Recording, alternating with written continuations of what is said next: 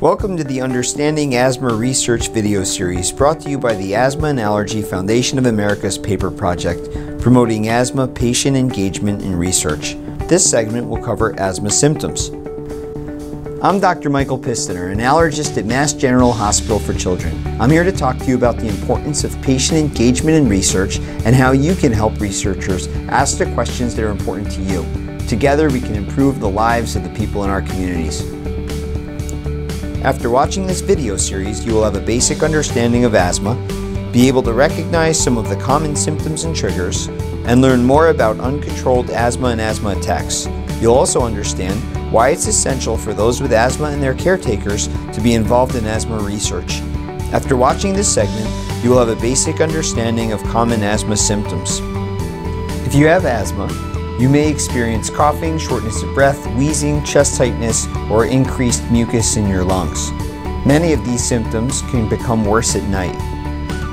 Asthma can increase your rate of breathing, especially in children.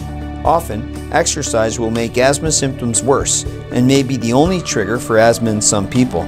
Sometimes, signs of allergies such as a runny nose, stuffy nose, happen before and during problems with asthma.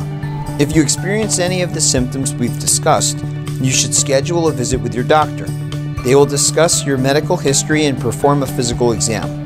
You may need a lung function test and other tests such as a chest or sinus x ray. Have you noticed that sometimes your asthma seems to get worse at night? Uncontrolled asthma, with its underlying inflammation, often gets worse at night.